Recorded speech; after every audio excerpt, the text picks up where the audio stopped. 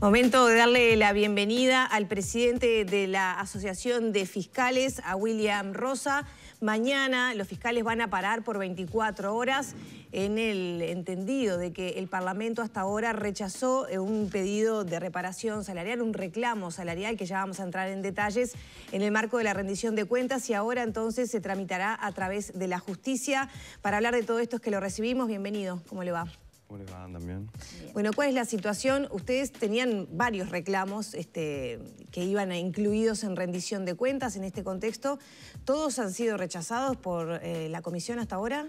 Bien, vamos eh, poniéndolo en situación y en lo que tiene que ver para que la gente eh, lo pueda comprender en cuanto a la situación de la Fiscalía. en esta rendición de, de cuentas por primera vez existe una previsión presupuestal para la Fiscalía con la creación de determinados cargos, con la creación de determinadas fiscalías, con la creación de determinados puestos dentro de la Fiscalía. Es algo que nosotros hemos venido reclamando eh, asiduamente en cada una de las instancias presupuestales. Eso de alguna, eh, de alguna forma, si bien es muy insuficiente para las necesidades de la Fiscalía, significa que la Asociación de Fiscales pudo, em, ponerse eh, a luchar por otras reivindicaciones que teníamos y que también son importantísimas. Para tenerlo en claro, acá se pensó una reforma procesal penal y en el momento en que eh, se pensó en la infraestructura de los organismos que lo iban a llevar adelante, principalmente la Fiscalía, que iba a tener este rol preponderante dentro de la reforma, se pensó en la estructura que ya tenía la Fiscalía para otro trabajo que realizaba la Fiscalía.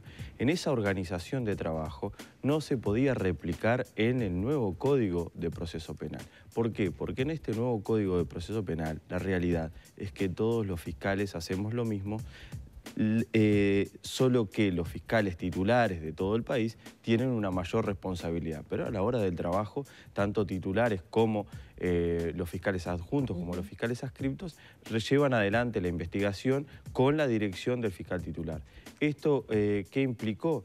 que los fiscales adjuntos y los fiscales adscriptos, quienes componen el equipo fiscal, realizan la misma tarea pero a la hora de la retribución los fiscales adscriptos perciben un salario sensiblemente inferior a los adjuntos. Es un salario mm, casi un 20% menor. Esto es porque eh, entendemos que se pensó en hacer la reforma, en llevar adelante la reforma, en que salga adelante la reforma, sin pensar en la organización de la institución. Eso lo hemos venido reclamando en, la legislatura anterior, en esta legislatura, eh, constantemente, y eh, se da la particularidad de que en esta oportunidad los eh, funcionarios afectados lo que hicieron fue iniciar esta reclamación en la vía judicial. Entonces se presentaron a un juicio contra el Estado para reivindicar esto. Antes de entrar en detalle, ya cuando se va a la justicia, ¿no? Para reclamar por esto, ¿está definido en algún lugar la tarea de cada uno? Bueno, en realidad... Eh, la... O, la misma tarea o el día a día generó que cada uno tuviera que realizar las mismas tareas. El principio de la realidad. Estaba establecido en la ley orgánica pensada antes de la entrada en vigencia de la reforma, que los fiscales adjuntos hicieran una tarea diferencial que era ir a, la, eh, a las faltas. ¿ah? Esa sería la competencia diferencial que tenían los fiscales adjuntos. La realidad que eh, indicó que en Montevideo no siempre los fiscales adjuntos iban a las faltas, iban los adscriptos, o sea, también hacían esa tarea, además de toda la, otra tarea similar. Y en el interior, en la Fiscalía hay 103, eh, en, Uruguay hay 103 sedes fiscales. En, Montevideo hay alrededor eh, de 35 eh, solo en, Montevideo hay fiscales adjuntos, o sea que en las 60 y pico de sedes del interior no hay fiscales adjuntos, o sea que esa tarea es desarrollada por los fiscales adscriptos. Y en Montevideo, de esas eh, más de 35 fiscalías, solo en 20 trabajan adjuntos, o sea que en las restantes también los fiscales adscriptos realizan la misma tarea. Entonces, la realidad hizo que la norma que planteaba una tarea diferencial no tuviera ninguna posibilidad de ser aplicada, entonces en los hechos se realiza la misma tarea. ¿Ustedes piden reparación, equiparación salarial y cambio de esa norma entonces? Claro. Y eh, acá es donde está eh, la Asociación de Fiscales, en donde se para la Asociación de Fiscales respecto de eh, una equiparación, son intereses individuales también, es cada trabajador reivindicando, o sea, luchando o, reclamando por su derecho individual de ser equiparado y del derecho que generó, porque si desde el año 2017 estamos en esta situación, eso genera un, un derecho hacia atrás. Nosotros lo que le proponemos al Parlamento es pensar una norma y una fórmula hacia adelante para que el Estado también no tenga que pagar eh, en un juicio, no sea condenado en un juicio para pagar eh, los reclamos hacia atrás, sino que sea hacia adelante esta solución, se subsane la inequidad y eh, se em, proteja esos derechos de esos trabajadores. O sea, esta doble vía es la que propone la Asociación de Fiscales, no fue aceptada por el Poder Ejecutivo, lo llevamos ante eh, la rendición de cuentas. En la comisión que estudia la rendición de cuentas en, la Cámara de Diputados, tampoco fue de recibo, entonces estamos en esta situación de que eh, tenemos que hacer esta medida de, lucha para visibilizar este reclamo. Ahora, ¿no, ¿no fue de recibo por parte de los legisladores o se entiende que hoy el presupuesto no está dado para poder eh, dar visto bueno ese 20% de equiparación salarial. Lo claro es, lo que nos han dicho los legisladores, es que entienden que el reclamo es pertinente, porque esto también ha sido eh, reconocido por la Fiscalía cuando fue ante eh, los legisladores, le dijo, esto es así, la realidad implica esto, los legisladores lo saben, el Ministerio de Economía cuando fue a hablar con los legisladores también reconoció que esta situación estaba.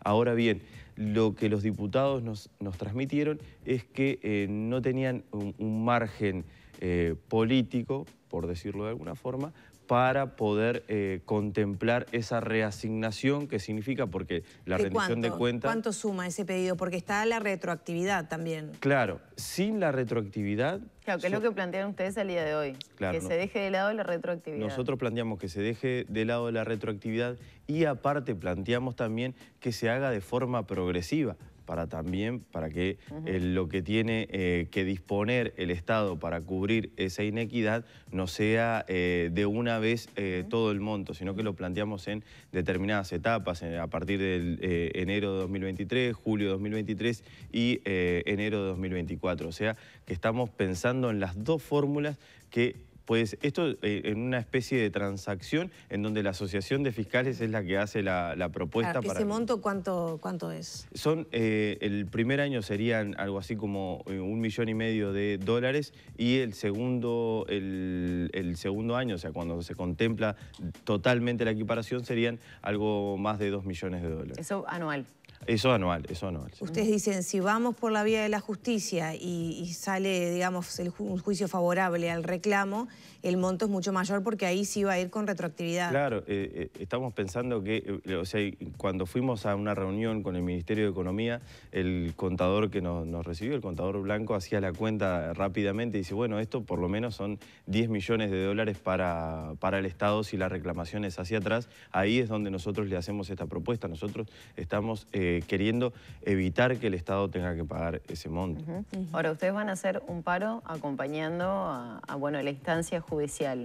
Sí. En caso de, bueno, de no ser favorable, ¿qué, otras medidas se podrían adoptar? Bueno, obviamente esto nosotros... ¿Ustedes entienden que la justicia les pueden dar la derecha a ustedes? Nosotros vamos a ir al, al, Senado también a plantear esta cuestión y es algo que he hablado con los legisladores reiteradamente, es eh, en esta especie de mediación que hace la Asociación de Fiscales, aparte de hacer la reclamación, lo que, em, lo que les digo es, es eh, mucho más fácil para la Asociación de Fiscales convencer a sus asociados de que renuncien al retroactivo hoy día que están iniciando el juicio a cuando cuando el juicio ya tenga una sentencia de condena y cada uno de esos trabajadores tenga una sentencia de condena favorable. Entonces decirle al trabajador, usted renuncia a esto, así lo hacemos hacia adelante nada más, es mucho más difícil. Por una cuestión de coyuntura, este es el momento ideal para eh, terminar con, esta inequidad y es por eso que estamos eh, tan ensimismados con esta reivindicación. Eh, para cerrar el tema de rendición de cuentas, ¿a qué sí, digamos, le, dijeron que sí? ¿A qué reclamos este, se, están contemplando en el actual proyecto que, que está a discusión ¿no? del Parlamento? Bueno, principalmente nosotros eh, siempre hemos planteado que las sedes de turno único no pueden existir más por una cuestión de dinámica de trabajo y por una cuestión de servicio. Ahora se previeron la creación de dos fiscalías nada más, cuando en realidad lo que se necesita es 11 fiscalías. Se prevé la creación de cargos de fiscales adjuntos, adscriptos para reforzar esas fiscalías de ¿Cuántos? Porque pedían como 200 cargos. Nosotros, no, eso hay, hay una, una diferencia importante en que la Fiscalía es un todo y es un organismo que necesita una estructura, tener una estructura sólida para llevar adelante la persecución penal.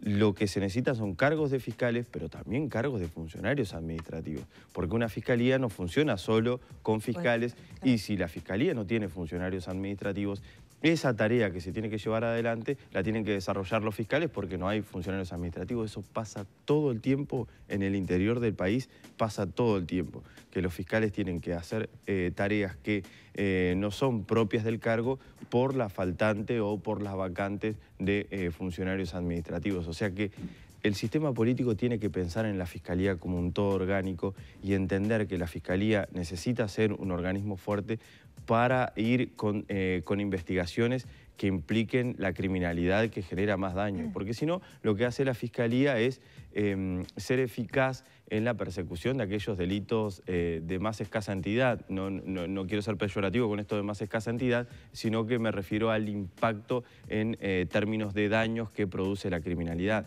El crimen organizado, los homicidios, las bandas que, que, que cometen delitos a gran escala, los delitos de cuello blanco, la Y ahí ya le pregunto directo, ¿se está perdiendo esa batalla con, por ejemplo, crimen organizado? Pienso lo que está pasando en Rivera, amenazas a fiscales. Desde Fiscalía y el labor que están haciendo ustedes, ¿se está perdiendo esa batalla? ¿No hay recursos suficientes como para tener un, combate claro desde el rol de, los fiscales, no? Y parece claro eso, eh, claro que em, eh, la Fiscalía, el Estado, porque la Fiscalía es parte de un Estado que quiere perseguir esta eh, criminalidad.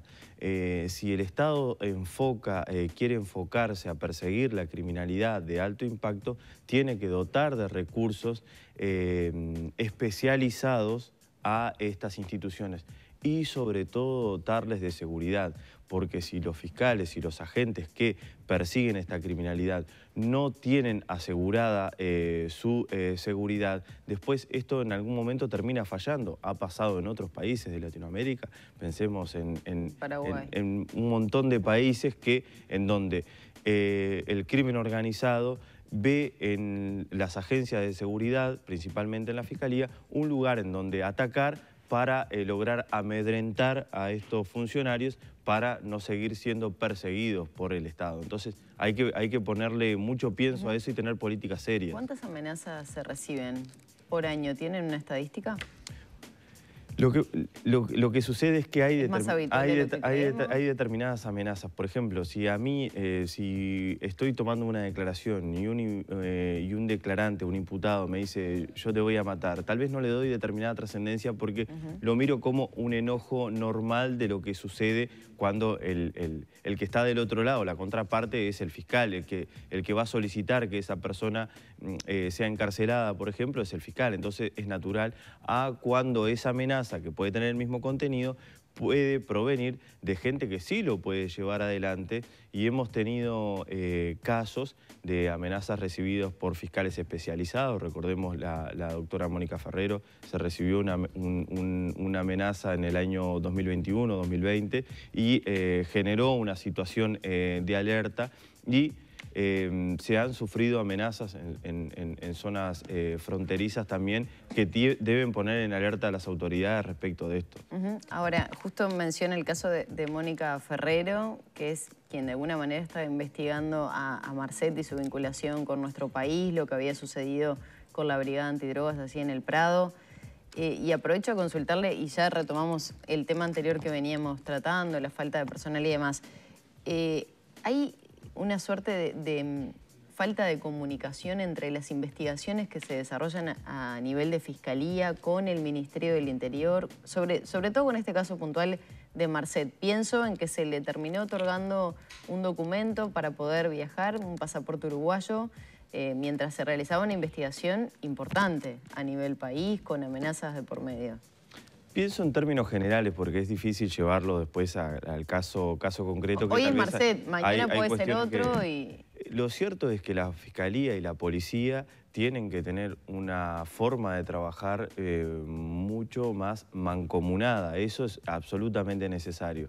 Eh, han existido chisporroteos, por decirlo eh, de, alguna forma, entre estas dos instituciones que van en clave de que una institución tiene autoridades que son políticas y a veces la política se guía por tiempos que no son los que tienen las investigaciones o las que tienen que tener organismos como, como la Fiscalía y eso genera a veces un debilitamiento en eh, la relación entre las dos instituciones. Pero si eh, no trabaja el mancomunada, las fisuras van a aparecer, las investigaciones se debilitan y cuando las investigaciones se debilitan o la posibilidad de em, investigar em, se debilita, lo que gana es la impunidad. Eso es lo que hay que tenerlo ¿Eso está pasando? ¿Se están debilitando las investigaciones?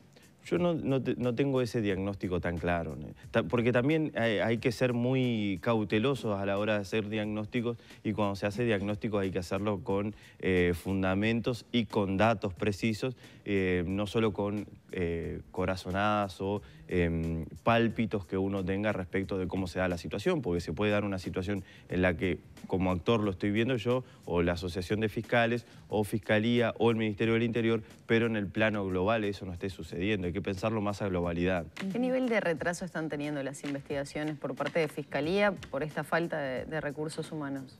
Bueno, eso es algo que se quejan permanentemente eh, los abogados que defienden a, víctimas, que son los que presentan la denuncia, y los que defienden a denunciantes.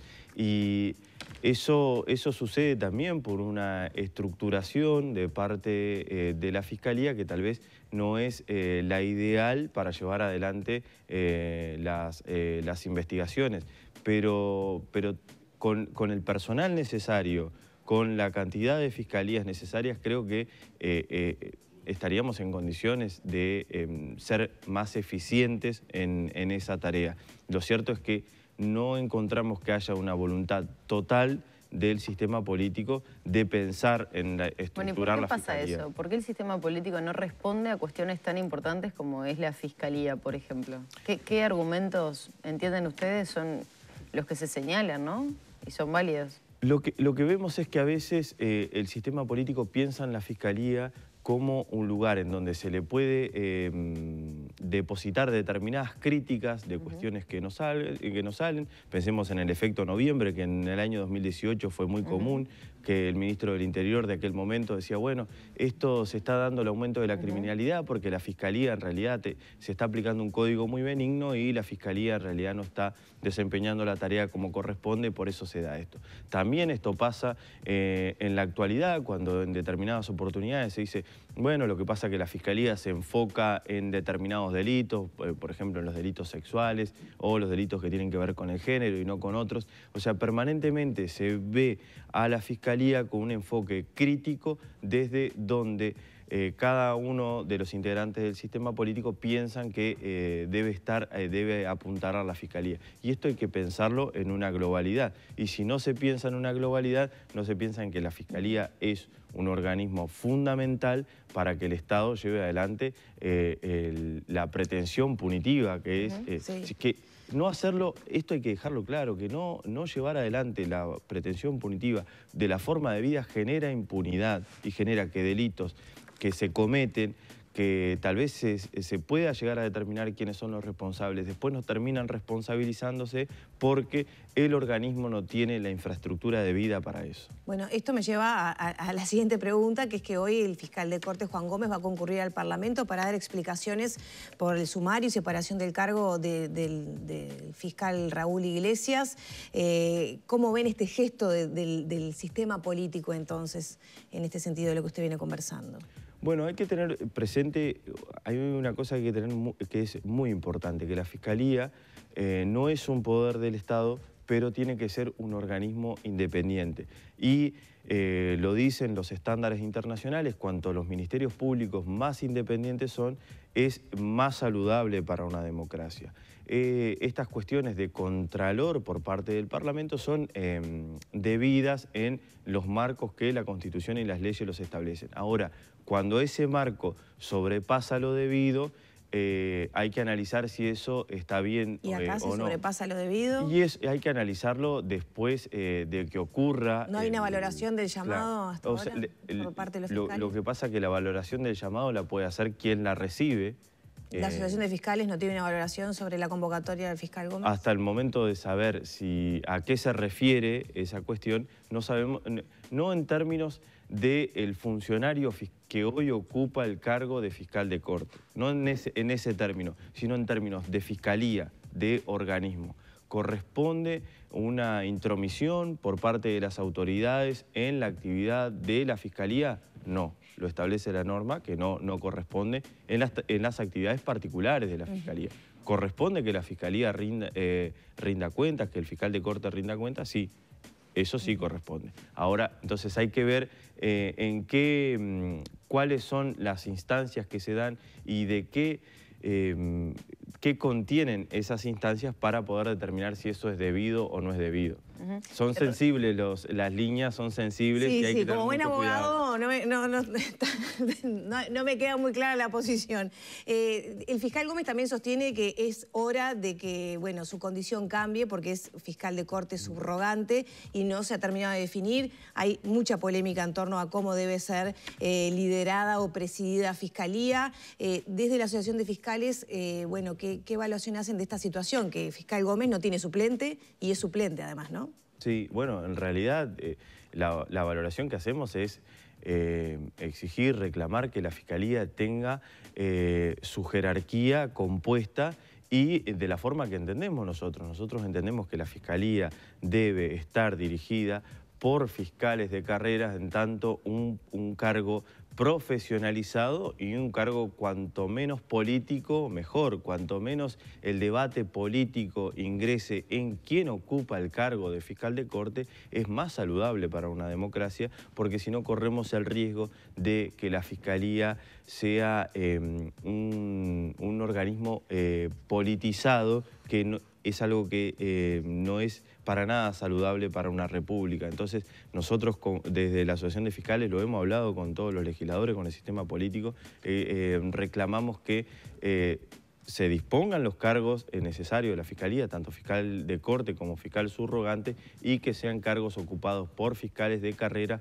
con em, aptitudes técnicas y de gestión para ocupar ese cargo. Rosa, usted habló de bueno, el pedido de mayor seguridad para los fiscales ante amenazas. ¿Qué está pasando concretamente en Rivera? Le pido si puede ser específico porque ya nos quedan muy poquitos minutos.